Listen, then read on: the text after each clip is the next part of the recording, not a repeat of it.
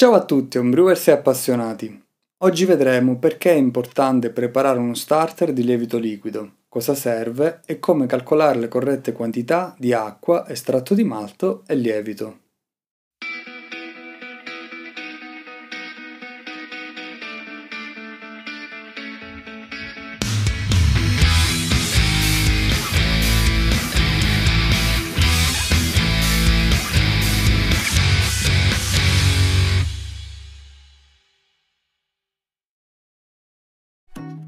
Nel video sul lievito e fermentazione abbiamo visto le differenze principali tra lieviti secchi e liquidi.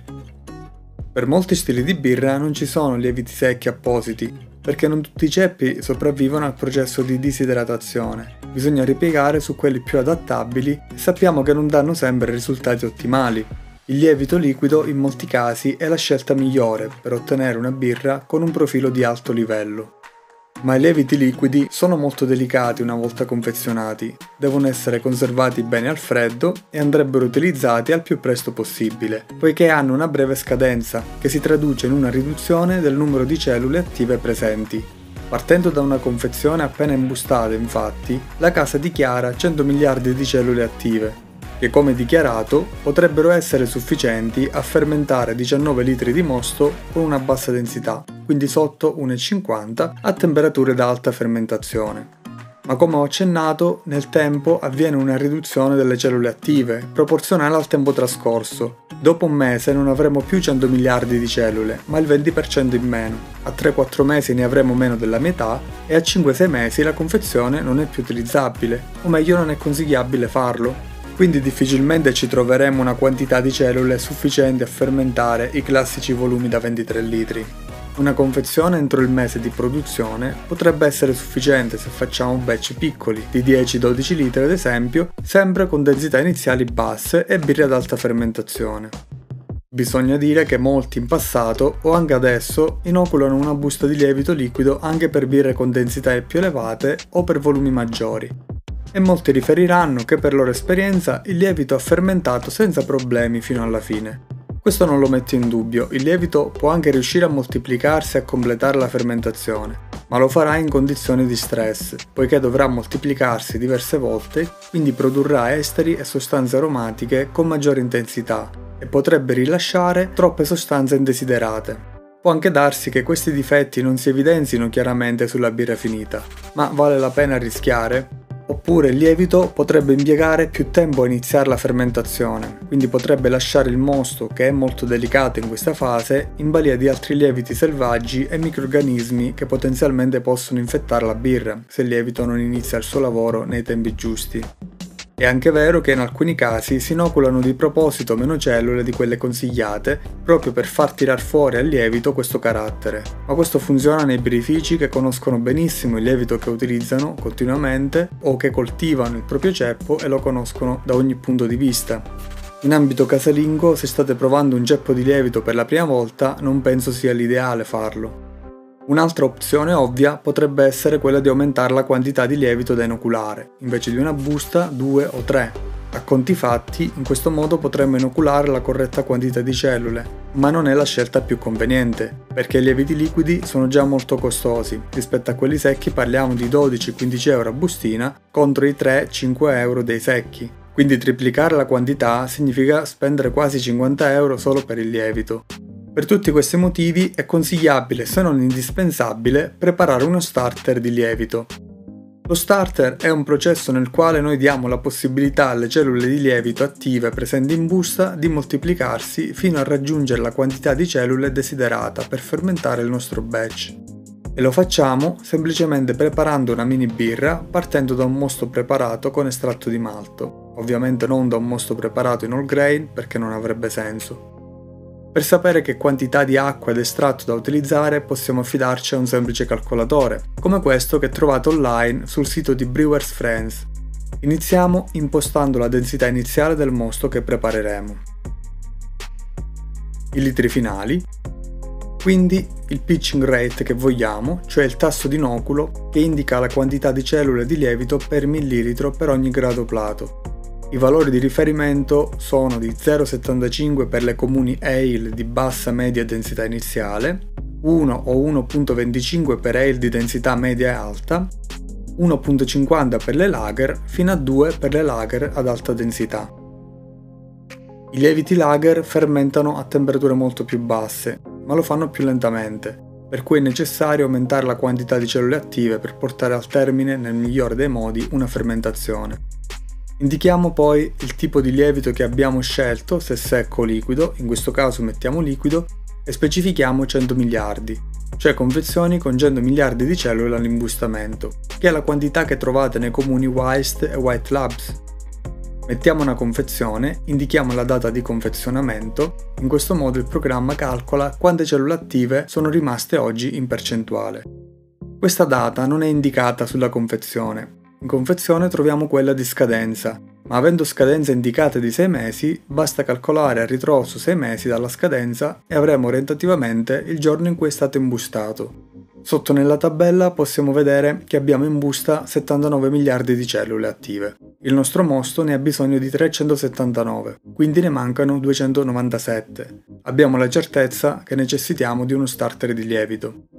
Riportiamo sotto il tasso di vitalità del nostro lievito Selezioniamo i litri di starter che vogliamo o possiamo gestire in base alle nostre attrezzature e la densità del mosto per lo starter. La densità ideale dello starter va da 1,30 a 1,40.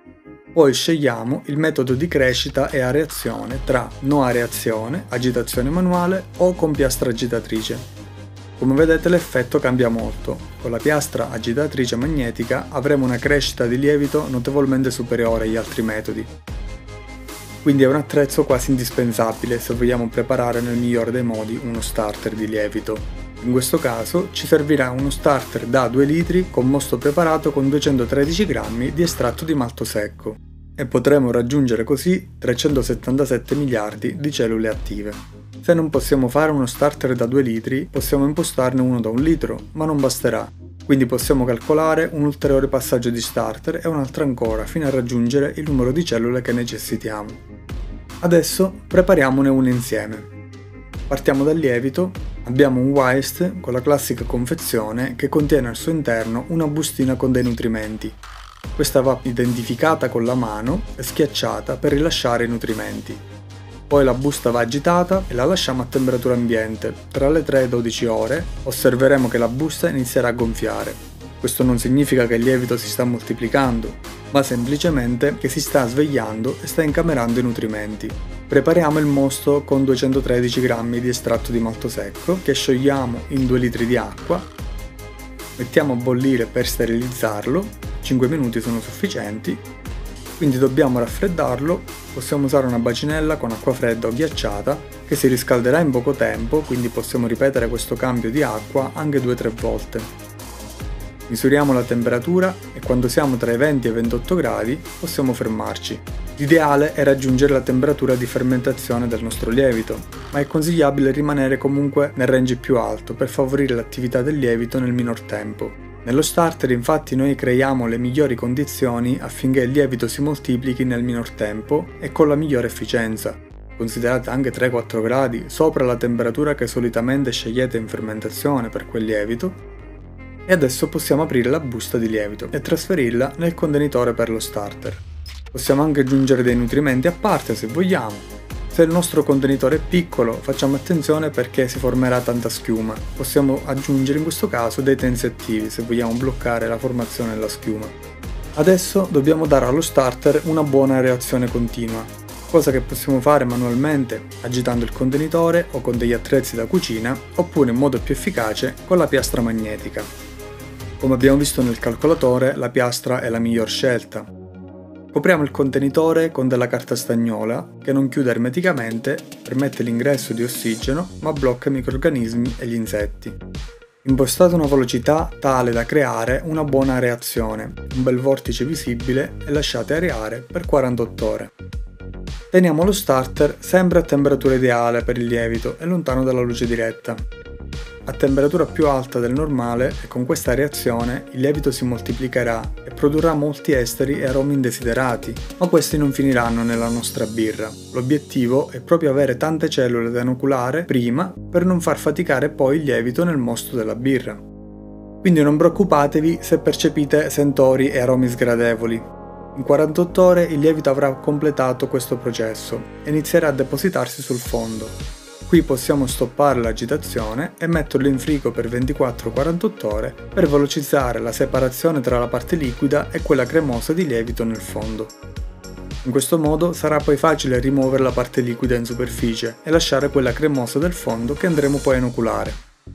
Il giorno della cotta possiamo toglierlo dal frigo per farlo tornare a temperatura ambiente e prima dell'inoculo possiamo togliere la parte più liquida e inoculare quella cremosa del fondo.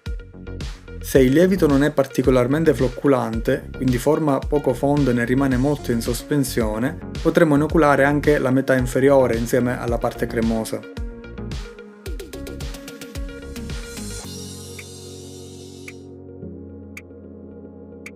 Ricordiamoci ora di ossigenare bene il mosto, perché il lievito liquido, anche se abbiamo preparato un buono starter, necessita di una certa quantità di ossigeno da incamerare nella sua parete cellulare. Ci sono diversi metodi per ossigenare a sufficienza il mosto, dai travasi per caduta, alla reazione manuale con la classica paletta o con un trapano avvitatore, fino all'insufflaggio di ossigeno puro con pietre porose.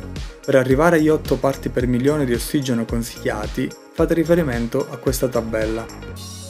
Come potete intuire, per avere lo starter pronto bisognerà organizzarsi, non è possibile prepararlo il giorno prima della cotta. Per seguire tutto il processo che avete visto, il lievito va preso 4-5 giorni prima, attiviamo la busta la mattina, la agitiamo e la sera prepariamo il mosto per lo starter.